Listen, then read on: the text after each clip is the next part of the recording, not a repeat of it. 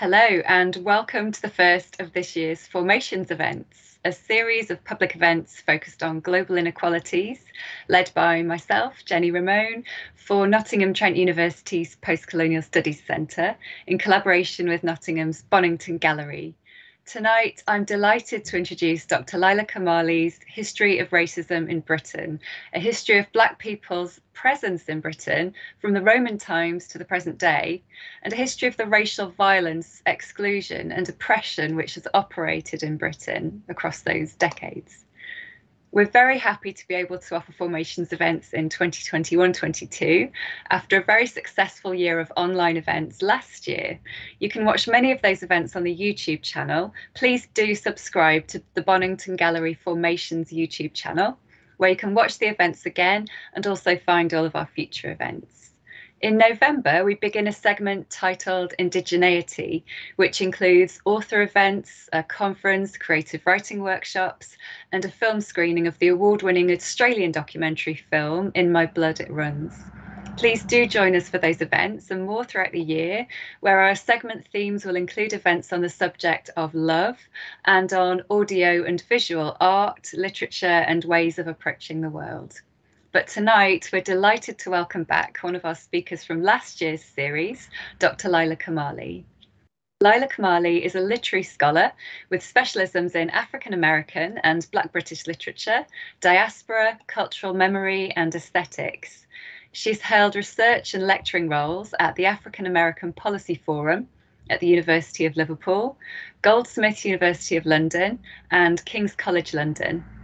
Her book, The Cultural Memory of Africa in African American and Black British Fiction 1970 to 2000, which was published in 2016, was named boldly progressive and entirely original and provocative by Professor Michelle M. Wright and Professor Paul Gilroy, respectively. Her articles have been published in Callaloo, Obsidian, and Atlantic Studies, and she has chapters on diaspora in the volume 21st Century Literary Fiction and on Black queer poetry in With Fists Raised, a book published by Uni Liverpool University Press in um, 2021.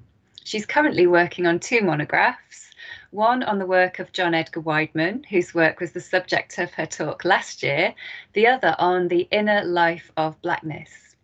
Leila is also a yoga teacher, a body worker, and a doula for the perinatal period. Leila will talk for about 50 minutes and she has lots of images, information, and ideas to share with us in this wide ranging and important event. Please do feel free to send any questions that you have for Leila via email to formations at ntu.ac.uk or to type your question into the YouTube chat, and I'll try to ask as many questions as possible at the end of the event. Please note that tonight's event includes live automated closed captioning, which is generated automatically via Teams, and there may be some mistakes. Before we begin, I also wanted to welcome online guests from Kwantlen Polytechnic University in British Columbia, Canada, who'll be watching the event later on because of the time difference and also to thank Jigsaw, um, Jigsaw 24 University Computer Equipment Suppliers, who've sponsored tonight's event. They didn't want to be thanked, but I want to say thank you because it's just great that we're reaching such a wide and diverse audience, which is what we've always aimed to do. And they wanted to sponsor this event just because they want to sponsor interesting and important events like this one.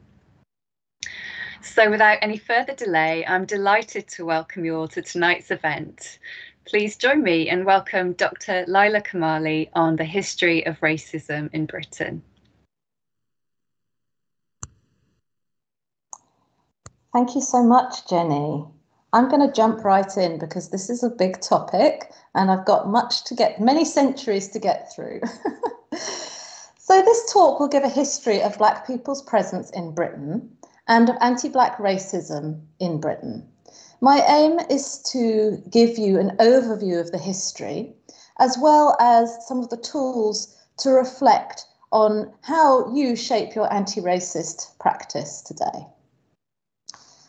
So, the history that I'll be covering in this lecture tonight divides the development of British racism and especially anti black racism into four historical periods. I'm focusing on four specific periods. So, the first period is the Roman era, era 27 before Common Era to the year 476. Second period I focus on is the Renaissance era, 15th to 16th century. Then we jump to the 18th century, which sees the height of the transatlantic slave trade.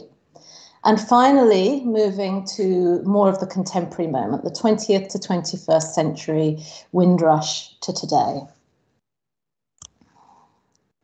Themes which will occur in this lecture, there'll be a few themes that, that might recur a few times. The first is the conflation of whiteness with Britishness and how that marks the possibility for an insider outsiderism or racism or xenophobia, the exclusion of others. Another theme is the, the, right, that the fact that writer, the writing of history is not neutral.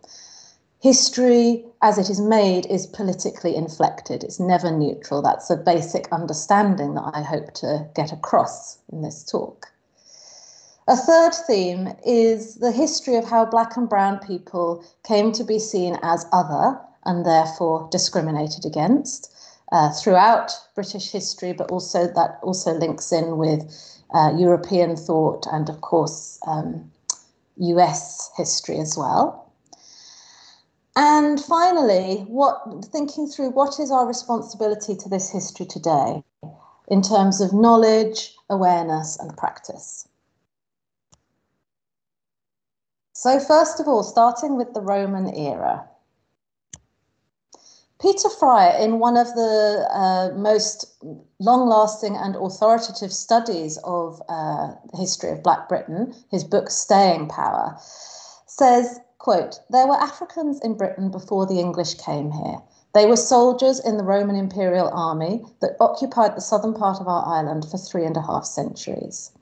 Though the earliest attested date for this unit's presence here is 253 to 8, an African soldier is reputed to have reached Britain by about the year 210. Now, I have a question here, which is what does Fryer mean by before the English came here? And it seems like Peter Fryer, as a historian, is being a little bit cheeky here. He's referring to Roman Britain as preceding the Anglo Saxon period of the 5th century, knowing that there's a general association of Englishness with uh, Anglo Saxon identity, if you were going to be very um, reductive about Englishness. Uh, and so you know there's there's things to be said about a very reductive idea of what English identity means. In fact, the closest thing to people who are absolutely native to Britain could be seen as the Celts in terms of an ethnic group. Britain is and always has been a nation of immigrants, and the majority of that immigra- immigration has been from Northern Europe. So, so-called anti-immigration rhetoric, if we're if we're you know talking about a rhetoric which is against the practice of immigration, uh, that really doesn't work because in England, Britain has always been uh, subject to the flows of people peoples. So when we think about anti-immigration rhetoric it's really just today another term for racism based on skin color and or insiderism outsiderism. So so the identification of an insider group versus an, versus an outsider group. So Fryer really is troubling the idea there that whiteness is the principal indicator of Britishness.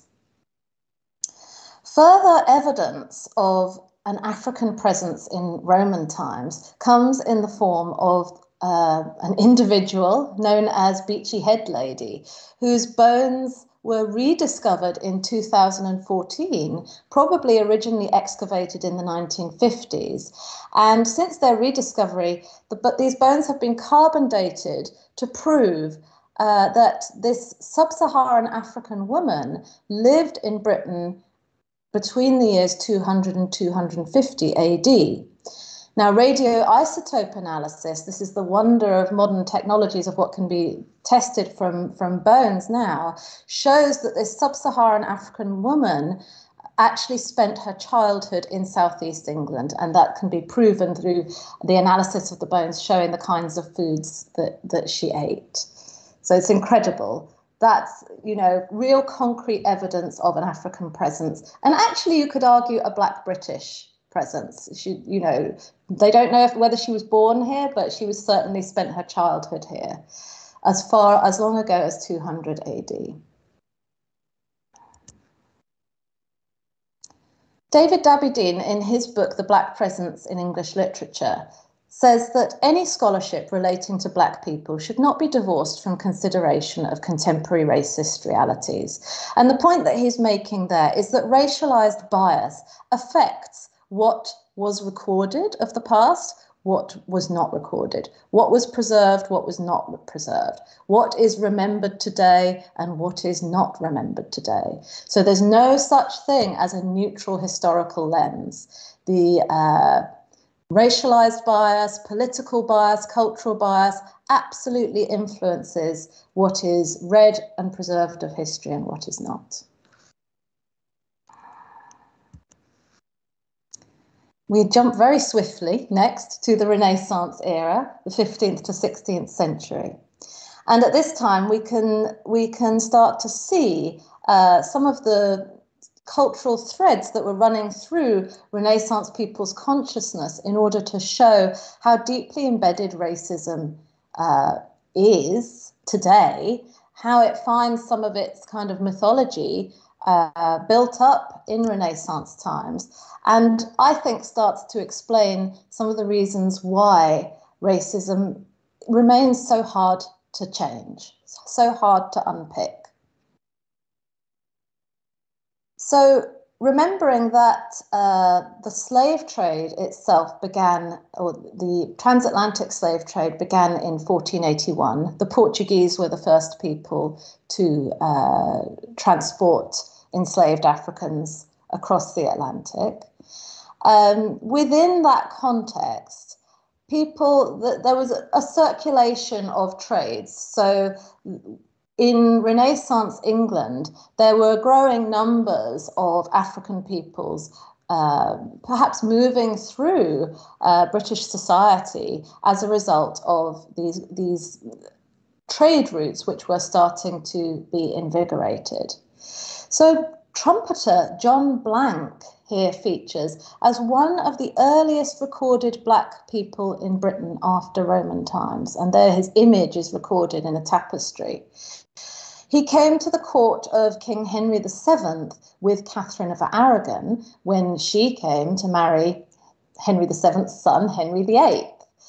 John Blank is one of the earliest recorded black people in England after the Roman period, and it's there's something quite um, quite touching about seeing that image, you know, of a, of one of the very few uh, one of the few recorded images of a black person in British history of that period.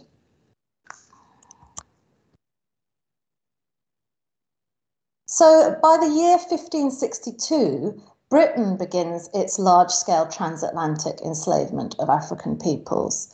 Uh, and it's interesting to me that, in parallel with that entry into the transatlantic slave trade, was the beginnings of a widespread mythology in Britain about African people. In Renaissance times, blackness is still a rarity, um, and you know, much popular, quite strange myth surrounded African people. So we're looking at a quotation from Peter Fryer's book that I referenced at the beginning. And uh, Fryer gives this quote, Fryer tells us about an ancient folklore from Pliny the Elder, who was a Roman author who lived far, far, be, far before Renaissance times, but whose uh, tales were very popular in Renaissance England in 1566. So this is Peter Fryer. He says, readers were told that some Ethiopians had no noses, others no upper lips or tongues, others again no mouths. The Syrbotae were eight feet tall. The Ptoemphani were ruled by a dog. The Arimaspi had a single eye in the forehead. The Agriophagi lived on the flesh of panthers and lions. The Anthrophagi on human flesh. There were people in Libya who had no names, nor did they ever dream. So you can see there's a real kind of weirdness around uh, not actually knowing much of any significance about African people and how a mythology starts to be built up. Anu Korhonen, in a very interesting chapter called Washing the Ethiopian White, has this to say. To Renaissance readers and audiences, the horror evoked by blackness also had an extensive Christian background. Demonization of black skin was helped by a long and powerful Christian tradition of depicting demons and the devil himself as black. Sin was black, virtue was white. The familiar images of blackness were so powerful that the text could evoke them even without much actual description. So, we're talking about the ways in which blackness was conceptualized back in Renaissance times. And even then, there was this sort of mysterious quality around why is blackness associated with sin? It's a quality which is then associated with uh, Christian mythology, but the roots of it are, are not all entirely clear. So for me, you know, coming way back to the contemporary present time, seeing how racism started in this almost mysterious way so long ago and where its roots couldn't even fully be discerned really helps to un- helps me to understand how today, when we usually feel that we've made so much so called progress, racism can just pop up out of nowhere so easily as if it's always been there. Anti black racism is naturalized in our culture. And, you know, this one of the last very memorable moments of that was, of course, during that um, the responses to that penalty shootout in the um, the UEFA Football Championship, which was a really um, unfortunate moment for this country. Back to the Renaissance, here we find one of the examples of Britain's relationship with its populations of colour being seen as a kind of continual historical pendulum. A greater apparent acceptance or acknowledgement or, of a larger presence of black people in, in Britain usually swings back to refusal, xenophobia, exclusion. And these are quote, quotations from none other than Queen Elizabeth I herself. So she made two specific statements in response to growing numbers of uh, African people appearing in Britain. First, the first one in 1596. Her Majesty, understanding that there are of late diverse blackamoors brought into this realm, of which kind of people there are already here too many, her Majesty's pleasure, therefore, is that those kind of people should be sent forth of the land. In 1601, five years later, she said, Her Majesty is highly discontented to understand the great numbers of Negars and blackamoors which, as she is informed, are crept into this realm, who are fostered and relieved, i.e., fed, here to the great annoyance of her own liege people. Now, you'll notice here some very familiar points back then, you know, 500 years ago, being raised uh, around the question of immigration. These points still always recur around questions of immigration. Britain is overcrowded. There are not enough resources. They, the immigrant others, are too different. They will not assimilate. These are the kinds of points that Queen Elizabeth I was making. So remember that in 1492, Christopher Columbus had so called discovered the Americas, and that particular incursion initiated an ongoing European contact with the Americas. So that started to build explorations which led eventually to the extraordinary levels of trade which, in, which initiated the industrial world. And so we move to the 18th century. So this image represents what's often called the triangular trade or the transatlantic slave trade. Uh, this image kind of quite a simple representation of the way in which the trade was conducted. So African people were enslaved, uh, were kidnapped or sold uh, from the coast of Africa. Slaves were transported to the Americas in the Americas, slaves were traded for sugar, tobacco, and cotton. The sugar, tobacco, and cotton was transported back to Europe and traded for textiles, rum, and manufactured goods which were in demand in Africa, taken back to Africa, and those in turn were traded for enslaved peoples. And so the triangle goes on and on.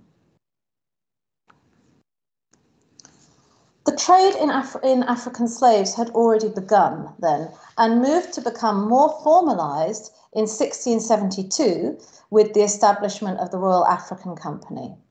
Britain carried at least 3.4 million African people to the Americas between then and 1807, when the abolition of slavery in Britain and its empire was passed. The trade did carry on for longer, though, with the Portuguese carrying about 5 million people.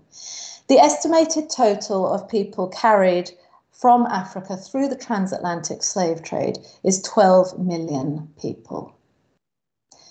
Now, a famous quotation from the novelist Salman Rushdie springs to mind when he says that the trouble with the British is that all their history happened overseas so that they don't know what it means. The majority of enslaved people worked on plantations in the US South and in the Caribbean. By the end of the 18th century, there were around a million slaves in the British Caribbean alone, working about 3,000 hours a year uncompensated. This is 3,000 million hours per year of free labour producing sugar, coffee, and cotton. And so you can see very easily how that amount of uncompensated labour formed the foundation of the industrialised world. Slavery was an incredibly brutal system. Enslaved people were valued only as a commodity, and sickening violence was absolutely a routine part of the system. Institutionalised rape, the permanent separation of children from their parents was also a routine part of the trade. Masters and overseers fathering children as a matter of course and therefore enslaving their own children was a routine part of slavery. Now, today, as we're doing this uh, anti racist learning, there's an aspect of anti racist work which is a kind of inner work. And uh, a number of the um, authorities in anti racist education today really emphasize this. Uh, this aspect of anti racist work where we observe our own reactions. Uh, so, Nova Reid's book, a very new book, The Good Ally, is a book I particularly like actually, um, and is, I would recommend as a read for uh, uh, accompanying your own anti racist journey. So, racism is a centuries old trauma which impacts us all. And just from, you know, hearing that little bit about the sheer scale, uh, the sheer global scale of um, traumatic abuse inflicted on millions of people, the sheer brutality of the system, of which I've only covered a, a, mere corner in what I've just said, this is a traumatic history.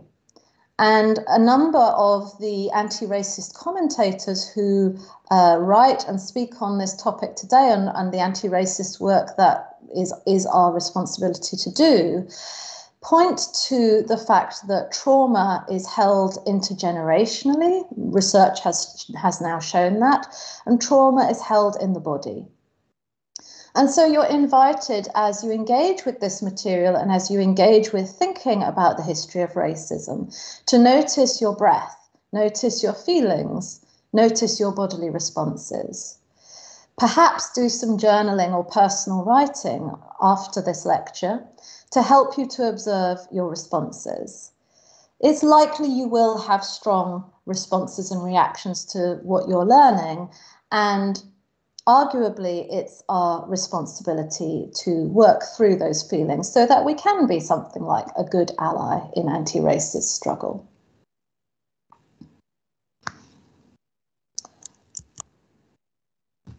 It's important to understand how the development of racialized thinking created the conditions which enabled transatlantic slavery to happen. And I think that Professor, Professor Sir Hilary Beckles puts this very, very clearly um, in when he was interviewed for uh, the BBC program Britain's Forgotten Slave Owners. He says, the English arrive in the Caribbean already with a fully formed racist and racial view about other people, especially African peoples. But the market conditions have enabled an existing racial mentality and racist mentality to take root in economic and financial management. And so you build an economy that is reflecting your state of mind. So there's a very clear demonstration there in what Beckles says of having the economic uh, practices happening on one side and the cultural uh, sensibilities happening on the other side, and how the two support one another.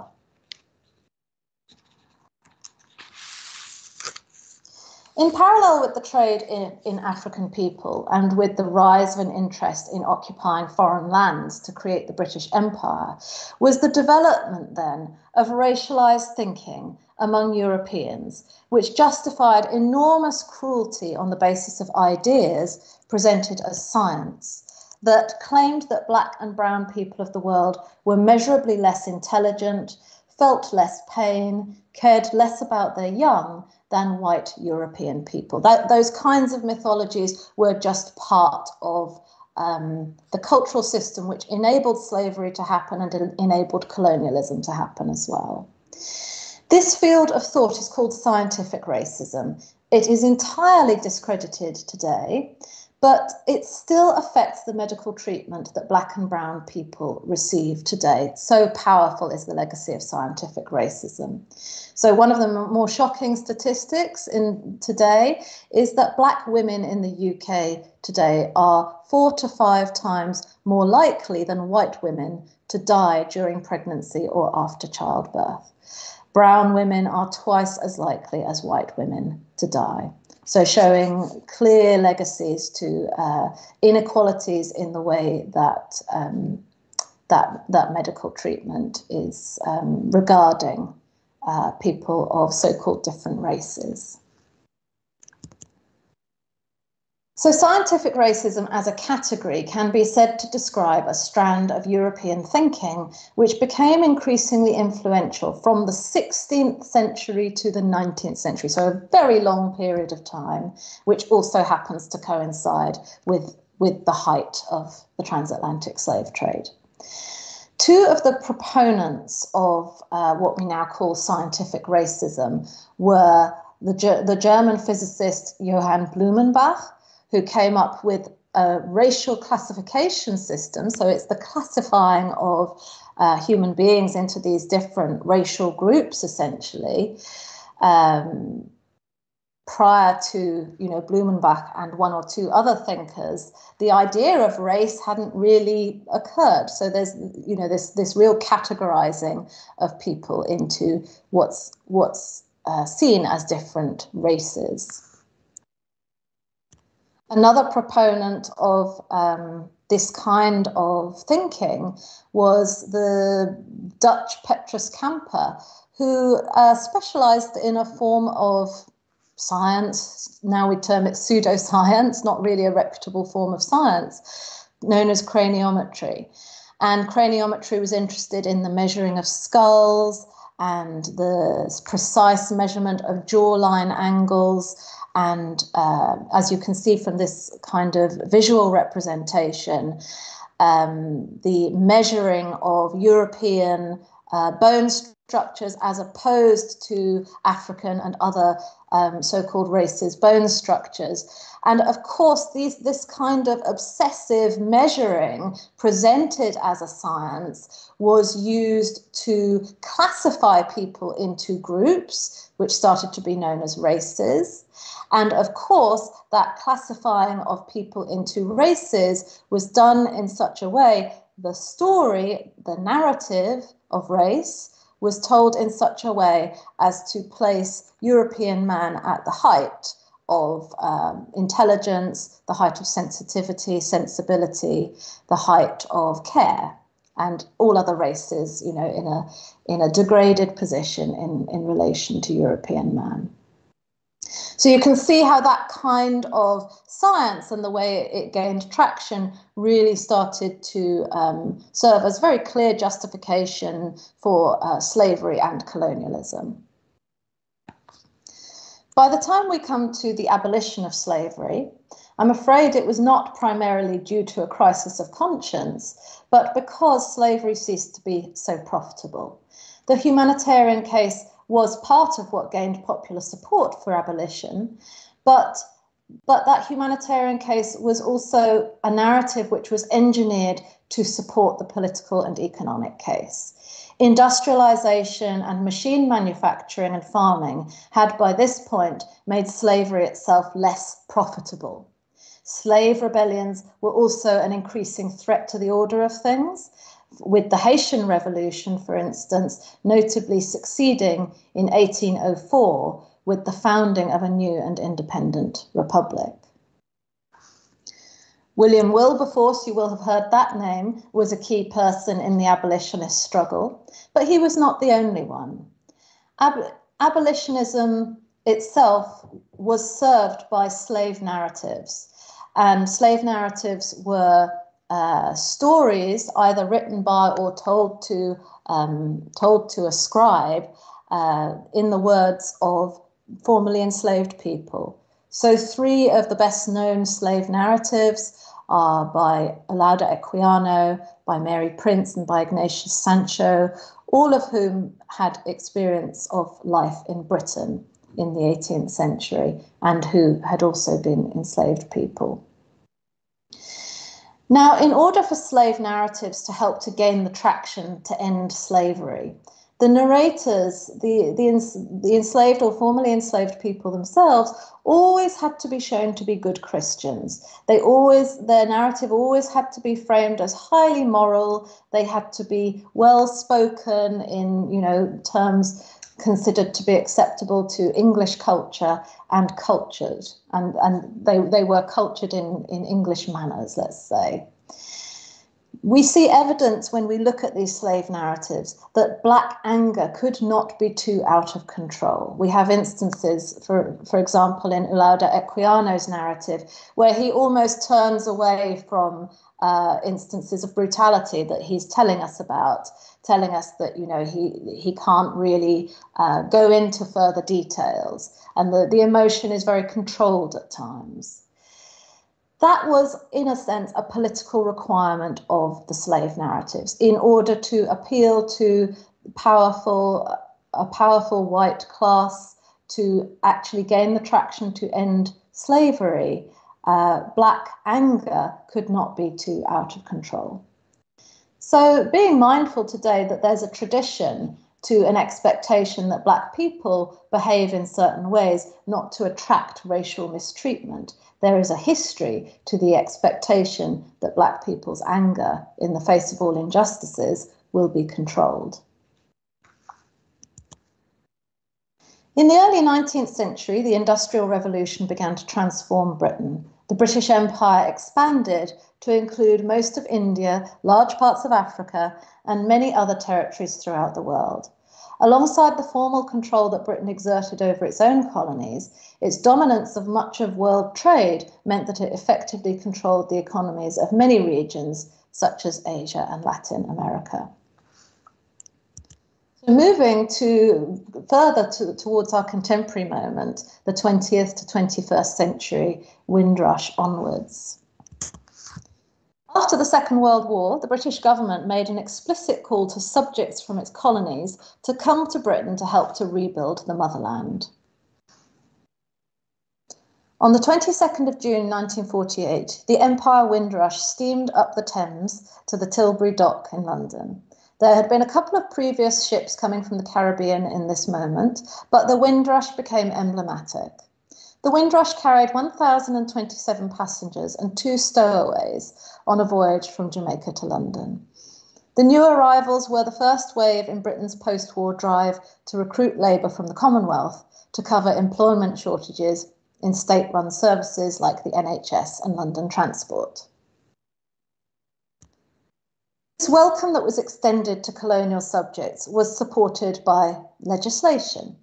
The 1948 British Nationality Act provided a definition of British citizenship for the very first time, and it did so in globally expansive terms. Under the Act of 1948, British born and colonial born people were, in legal terms, one and the same. Anyone born in Britain or in a British colonial territory became a citizen of the United Kingdom and colonies. All citizens of the United Kingdom and colonies were also British subjects. However, there were trials and tribulations for that Windrush generation, people coming from the Caribbean to Britain. And we have a very uh, telling testimonial, uh, one of many testimonials that are available to us today, from the book The Windrush The Irresistible Rise of Multiracial Britain. And this is an individual named Cecil Holness. He says, So you come off, and they put us at Hounslow Square at the hostel. And then we used to leave from South Kensington to Victoria and take the Orpington train. And then when we leave Hounslow Square, went to West Cromwell Road to live in Earl's Court. You move around a lot because people didn't give you a lot of time. In those days, it's either two or three of you in a room. In those days, as a black man, it's very hard to get a room. You wouldn't get one. They always put on the board, black N words not wanted here. So coming on the back of that, you know, increased uh, immigration to Britain, which was actually invited by the British government, are increasing racial tensions. And 1958 saw race riots, anti black riots whipped up by media sensationalism, attacks by Teddy Boys and Os- Oswald Mosley's White Defence League uh, on black communities. So these two images that I've selected here, I think, say something about what, what white violence looks like. The, the image on the left shows how uh, really, really a, a, fascist organization, the White Defense League, situates itself as a site of control. And, and the site of control that it situates there is also a site of control over black people. The image on the right shows another form of control over black people, a, you know, a police officer holding someone by the neck. Uh, but the implication with that second image of uh, violence, the implication is that it's the black individual who is violent, who needs to be contained. And this is all part of the racist narrative, which, which has underpinned um, the history of racism in this country.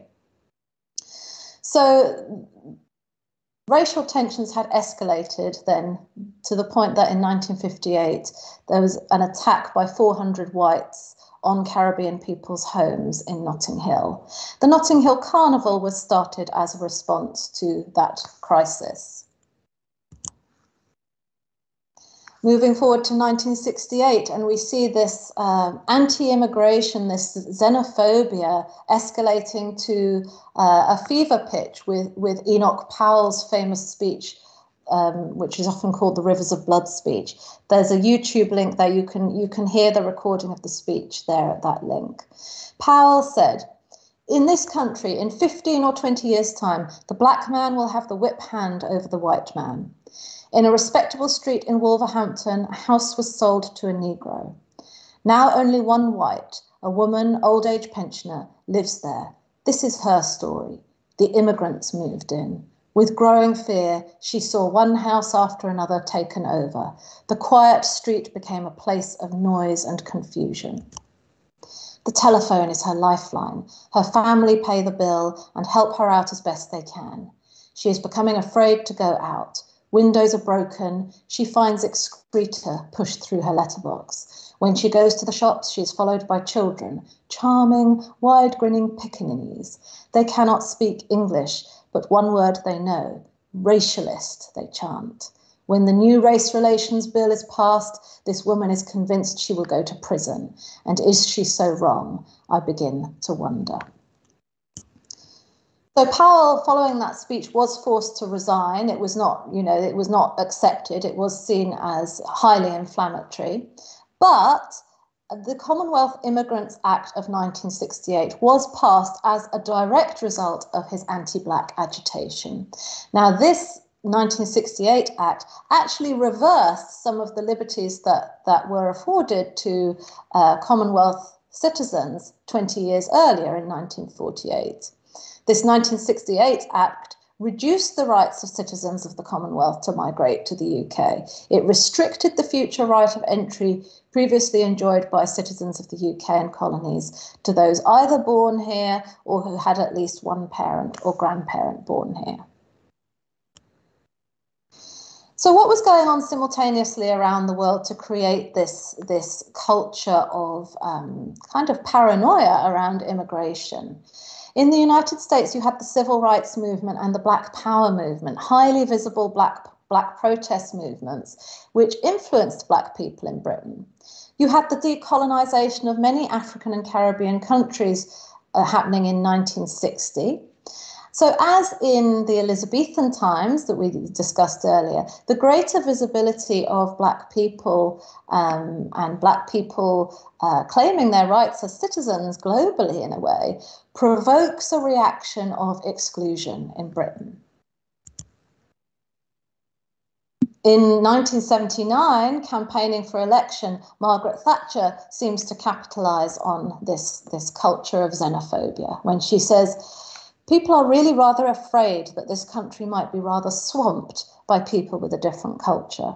The British character has done so much for democracy, for law, and done so much throughout the world that if there is any fear that it might be swamped, people are going to react and be rather hostile to those coming in. And of course, her she was successful at, at being elected at that time.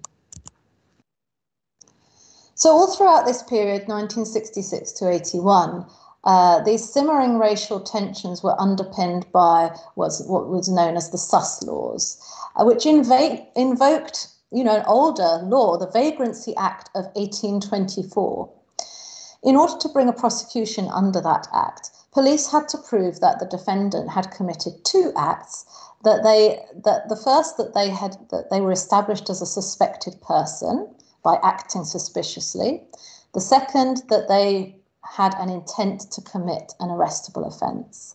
So those are very kind of um, subjectively interpreted ideas that someone is suspicious or they had an intent to commit an offence. And so the, those sus laws are virtually a license at this time for racial profiling, which specifically targeted black communities.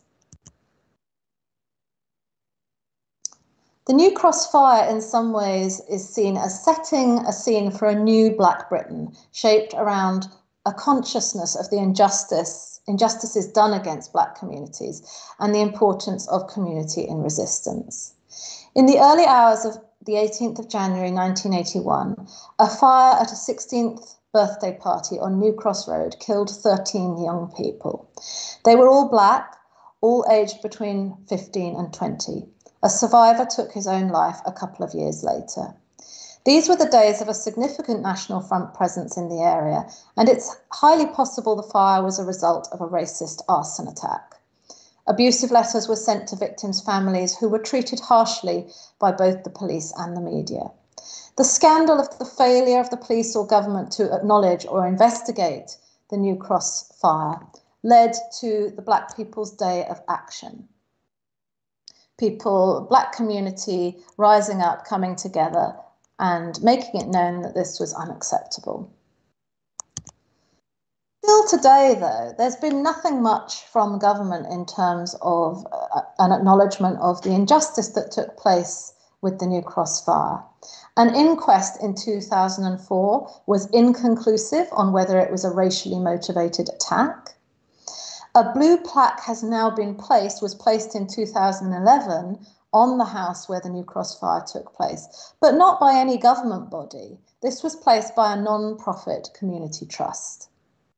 Like the later botched investigation into teenager Stephen Lawrence's murder in 1993, and the shocking catalogue of apathy which led to the deaths of 72 people in the Grenfell Tower fire, this history of the New Cross fire bears witness to the lesser value which has been placed historically upon black life in Britain, in a system which initially was enabled by scientific racism and which upheld the logics of slavery and colonialism.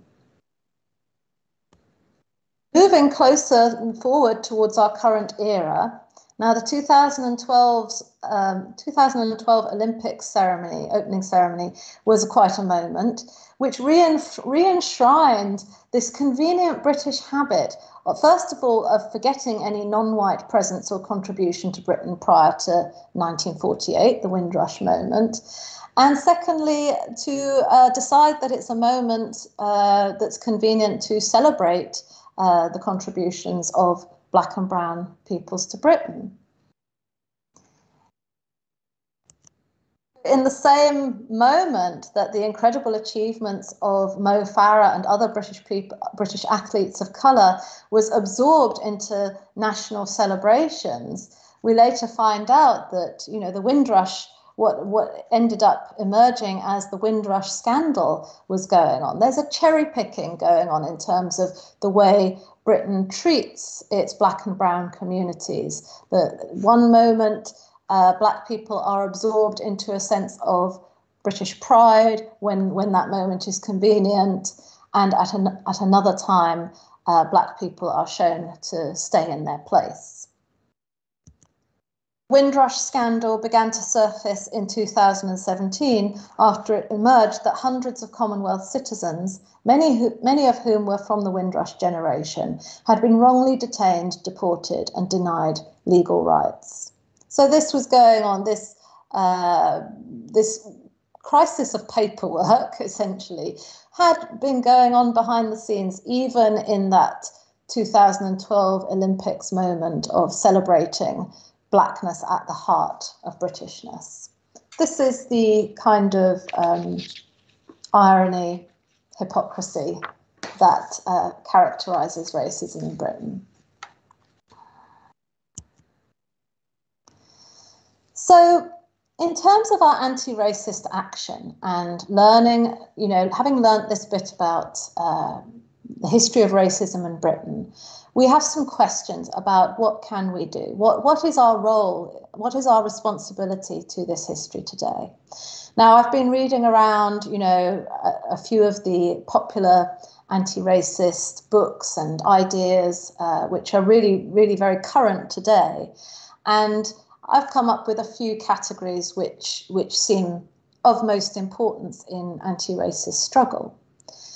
So the first of these is self-inquiry for white and mixed people. A number of anti-racist books um, are, you know, widely available on the on the market um, to guide you with your self-inquiry. So these are some of those books uh, which really foreground the practice of self-inquiry, uh, looking at ourselves specifically, kind of guided for uh, white and mixed people um, to be thinking about their anti racist journey. Second category, money. Recognize that anti racism. Uh, anti racism itself must be seen as anti capitalist and anti patriarchy and beha- behave accordingly in business and investments. So move piece by piece towards a financial picture that does not exploit people of colour globally. Now, that's much, much easier said than done to, you know, completely shift and uh, change the system of capitalism. But we have to recognize that capitalism you know, as this history we've we've been through this evening, capitalism was built on the blood of black and brown peoples, and it continues to be built upon people of colour globally. And so, you know, whether we're thinking about where we put our money as individuals or whether we are thinking about uh, our role in our businesses, in our companies, in our institutions, we cannot ignore the uh, the importance of where money flows to and the relationship that money has in relation in in the perspective of racism on the one hand or anti-racist practice on the other hand. The third category to think about in terms of anti racist action is the creation of safe spaces and the benefit of safe spaces for Black people. Uh, safe spaces are not necessarily segregated spaces, but they will be Black centered spaces. Now, I've had questions in my mind around this question of safe spaces. You know, in in my kind of um, my most intuitive uh, way of approaching uh, race relations is, you know, why can't we all just get along? I tend to come from that perspective. But as I've read up on the benefit of safe spaces for Black people uh, within educational institutions and different kinds of institutions, uh, I've understood the importance of um, those kinds of safe spaces for Black people simply because white supremacy um, and all the, the term white supremacy doesn't just mean Ku Klux Klan, it just means um, whiteness as a real dominant, dominant factor in our society. White supremacy tends to encroach on everything. And so, uh, safe spaces for Black people, um, which need not be exclusionary but will be Black focused, um, is an important part of anti racist work. Reading and engaging with the arts, investing in and supporting Black arts and culture as anti racist action. I would urge you to read Black literature and view Black art. That's partly because I'm a literary scholar, so I'm biased, but partly also because when you read, you empathize. When you engage with the arts, you empathize. And so the more world, the more different worldviews you engage with in terms of the arts, the more you will build your empathic mus- musculature in a way. You will learn to empathize with people who are different from you. Of course, vote anti racist. Uh, don't vote for anyone who, you know, if, if you're committed to anti-racist action, then where you where you put your vote is important. And also support the next generation of activists and educators to make meaningful change. So how how do we hope for the politicians of tomorrow to come through the systems that we currently have to be able to really uh, enforce anti racist action in our society? That's something to think through.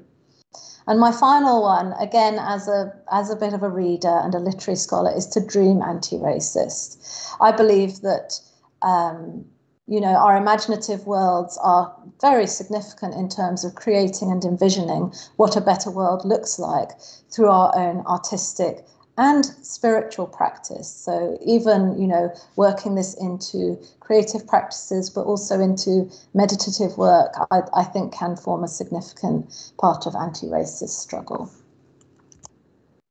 So those were the resources, the anti-racist books. There are some further resources here um, and I think uh, Josh can probably copy those links into the chat. Um, just a few resources that I found interesting. The white privilege checklist, which was um, conceived of a few decades ago by, by a, a white scholar, uh, but serves as a thought provoking starting point in terms of thinking about what white privilege actually is and and how it's different to move around the world as a white person to to being of another color that's the second resource is white supremacy in the workplace what that looks like. And again some ideas to chew on. Some of it is provocative some of it you might disagree with but you know being provoked being asked to to reassess some of your existing opinions that is part of anti-racist work. That is important work.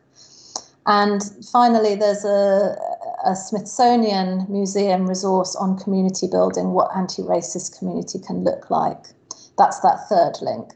Another resource, which I don't have a link to, but it's an article which I found very useful in terms of thinking about safe spaces for, uh, for Black students. Um, and that's that article by Deanna M. Blackwell. Um, so that's it, and I'm I'm done here. um, you can, if you have any further questions or anything you'd like to discuss with me after this lecture, you can reach me via my website. There's a contact form on there. So thank you so much.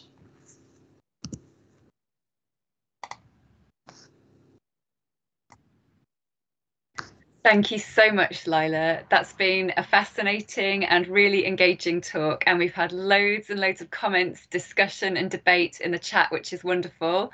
Um, and perhaps people who have been having these conversations in the chat might want to um, look back to the beginning of your talk where you offered people kind of strategies for reflecting on the things that you're talking about because it looks like there has been some heated debate and discussion which is wonderful. All of it really positive with people trying to find their own ways around the issues that you're raising their own ways to um, confront racist history in Britain and to deal with it and to move through and beyond it. So it's been really lovely to see all of that activity in there.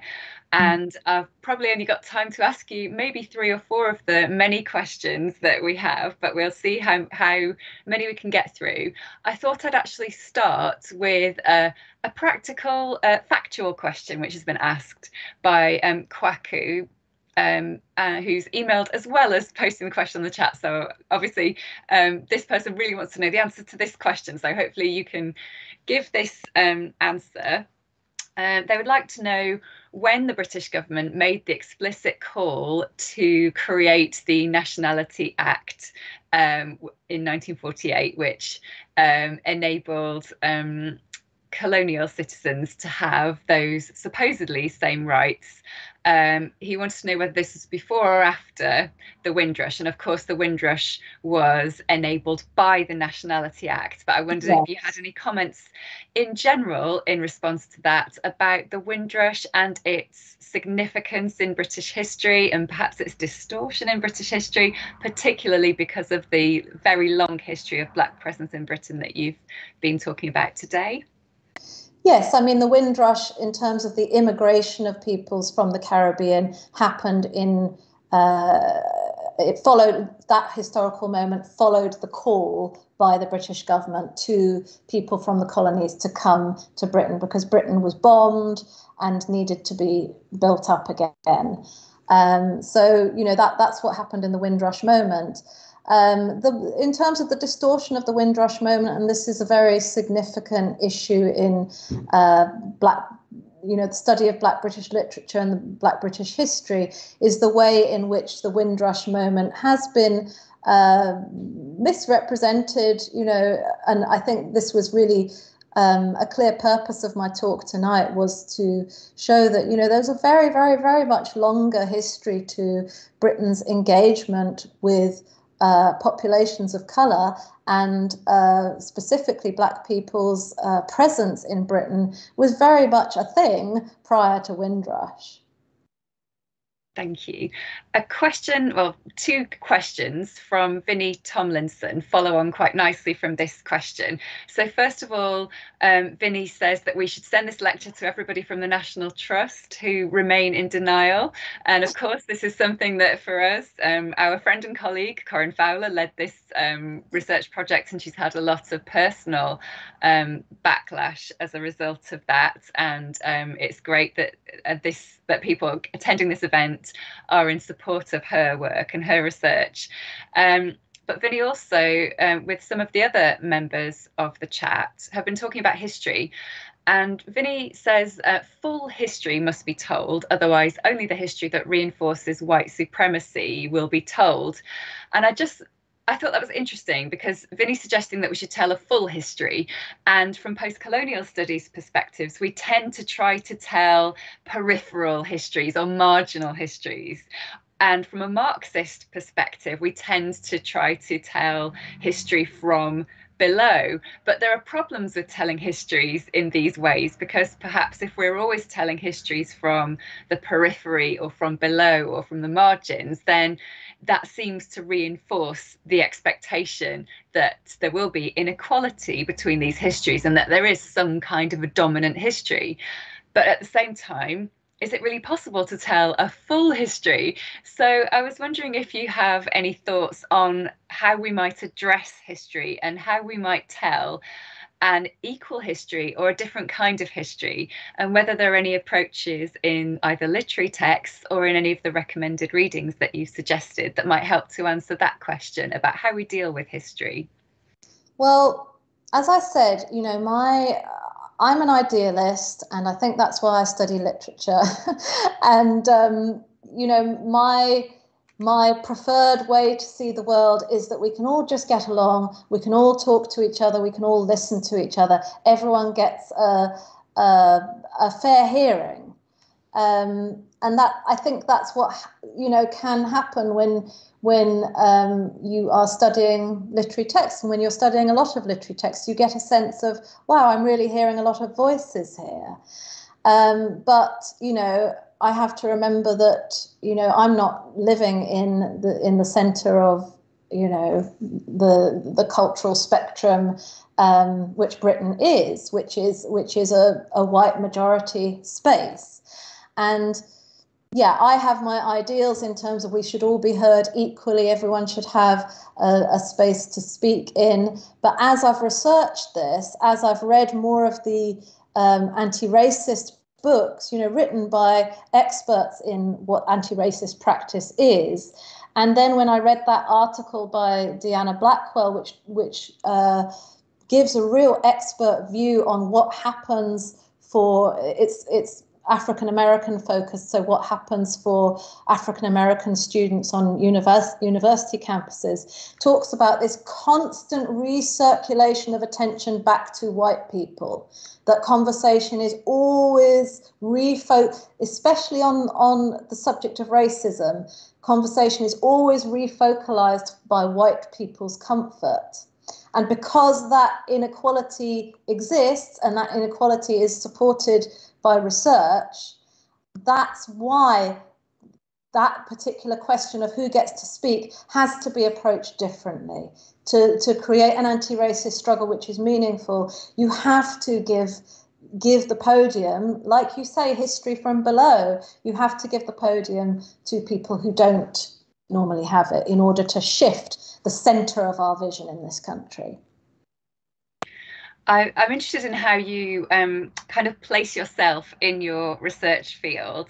And we've had a number of questions that ask you to reflect on your own research practices and, and position. Michelle Selman has asked four questions. I think I'm only going to be able to choose two of them. But she asked firstly, what what prompted you to choose this field to study and related to that what has been the personal cost of your published work i suppose the impact on you. She also asks about how you deal with the trauma which is represented in the materials that you're looking at. So, how did you choose this as a field to conduct research within, and how has it affected you personally, perhaps in terms of reading traumatic material, but also the responses that you get to your research or, or how you navigate a career, perhaps? Mm.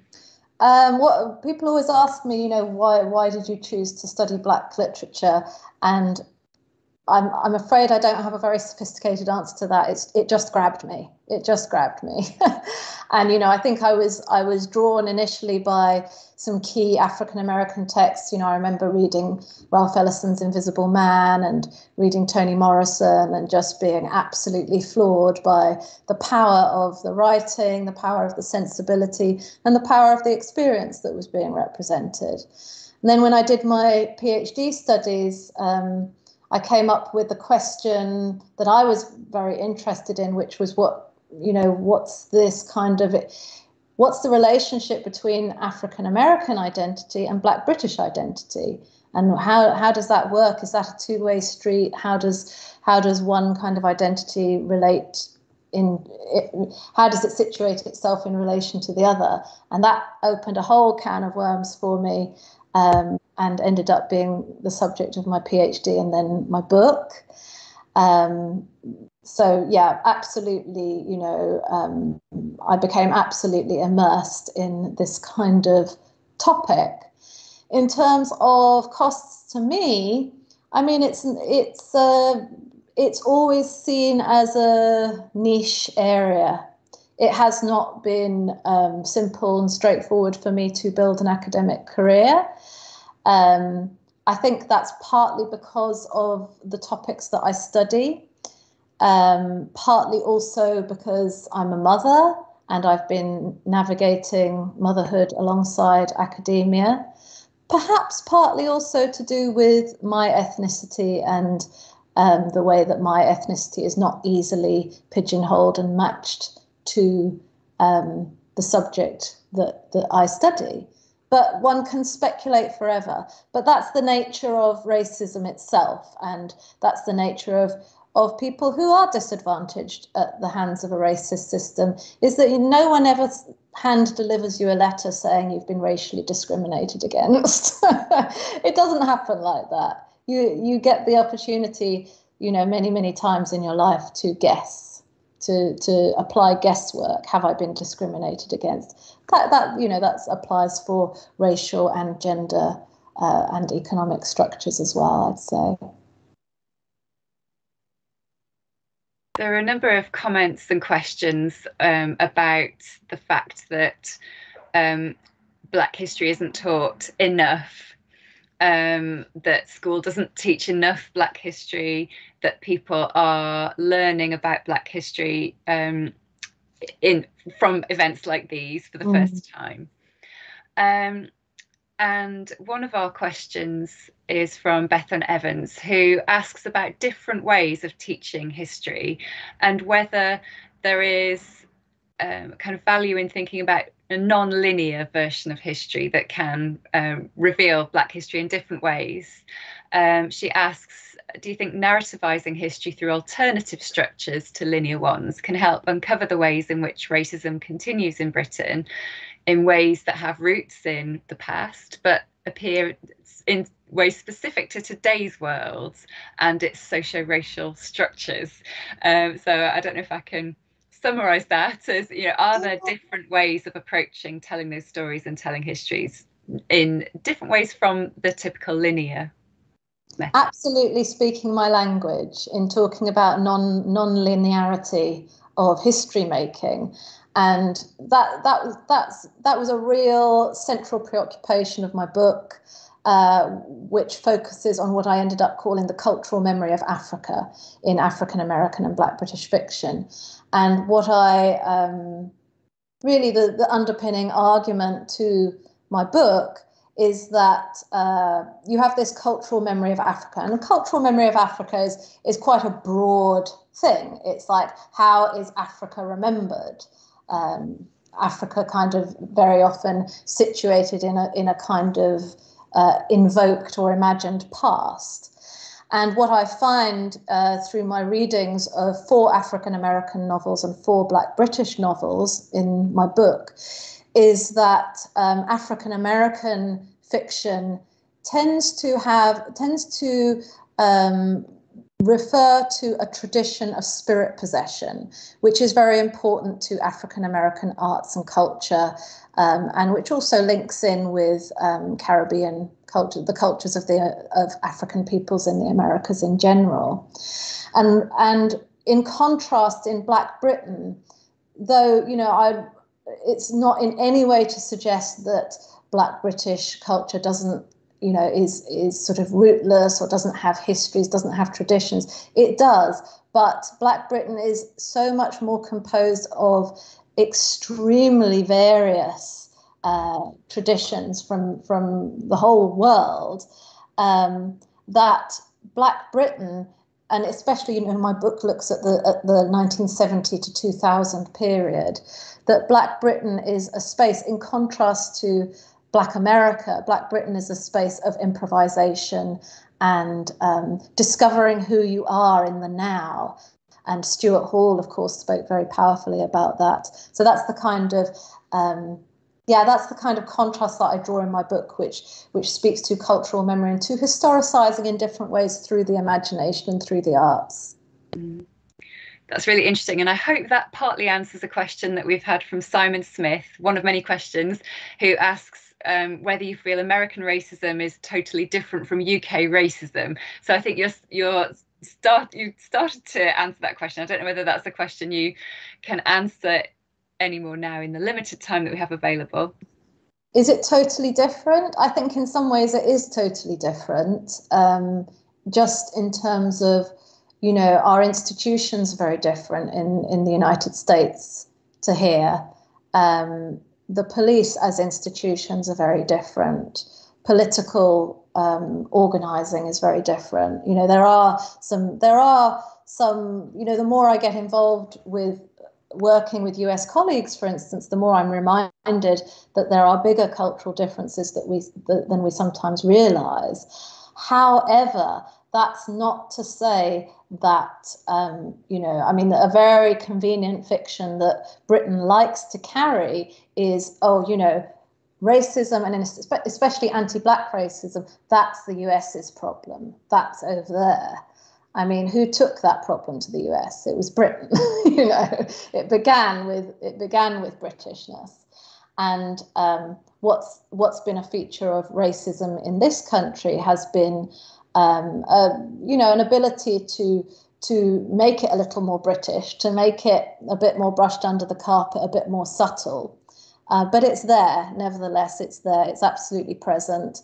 And, you know, police violence against black people is a feature of life in Britain, just as it is a feature of life in America, even if it looks slightly different.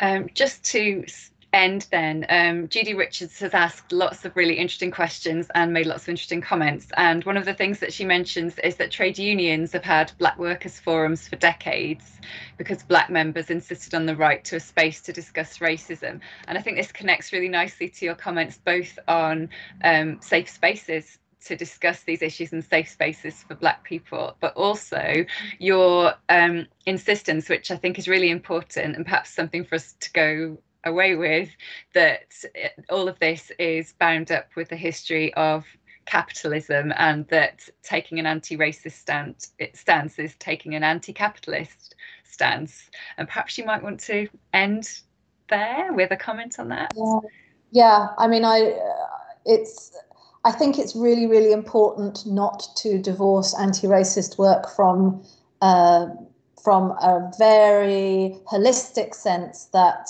racism and capitalism are bound together.